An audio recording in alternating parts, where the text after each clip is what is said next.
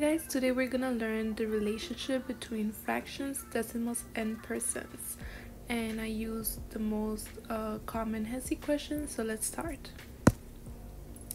The first one is we're gonna learn how to convert from fractions to decimals, and it's very easy. You have to simply divide, just divide it.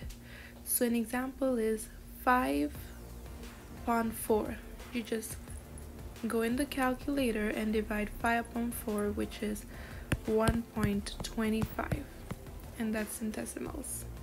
Another example 7 upon 9 put in the calculator you divide it you will get 0.78 so it's very easy you just have to divide.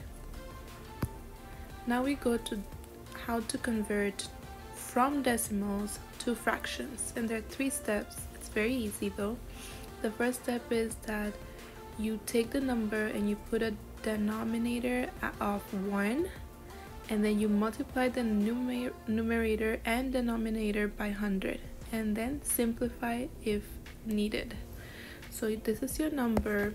You um, divide it by 1 and then you multiply by 100 on top and on bottom. That will give you 25 divided by 100 you simplify it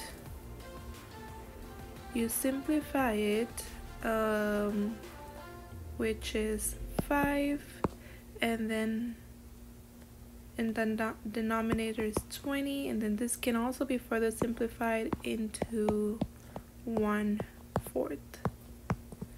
That's your decimals to fractions. Three steps, very easy. The next one is decimals to percents.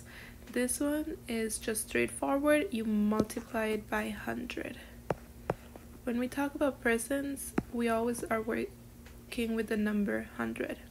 So you have the decimal 0.15 the only thing you need to do is multiply by 100 which is 15% as easy as that. Now if we need to convert from percents to decimals again it's very straightforward.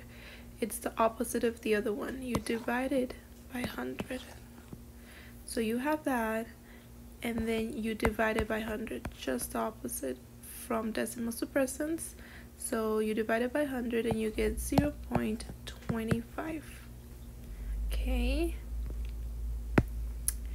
Now you have a frac fraction and you want to put it as a percent.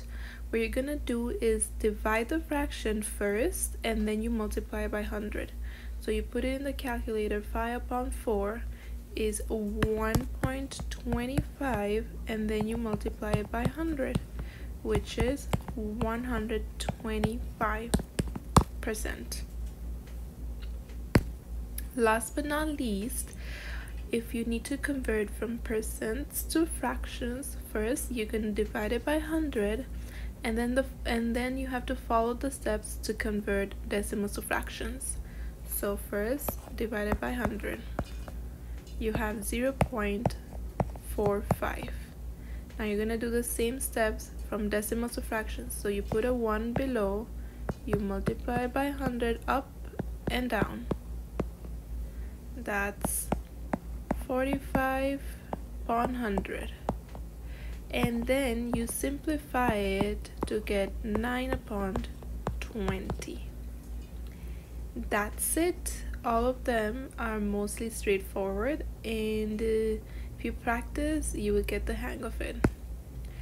Please don't forget to subscribe for more and many videos upcoming and you if you have any questions don't hesitate to comment below